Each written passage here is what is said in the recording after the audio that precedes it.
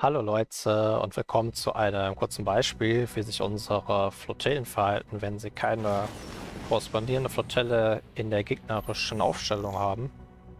Und wir sehen hier, dass der Gegner nur die Flottille 2 hat. Wir haben Flottille 1 und 2. Und unsere Flottille 1, die greift die ganze Zeit die gegnerische Flottille 2 an. Also wir haben das ja in anderen Beispielen gesehen, dass wenn der Gegner jetzt auch eine Flottille 1 hätte und unsere 1 hätte deren 1 schon besiegt, dann würde unsere 1 irgendwann die 2 auch nicht mehr angreifen können. Aber in dem Fall, dass es gar keine 1 bei den Gegnern gibt, haben wir da kein Problem.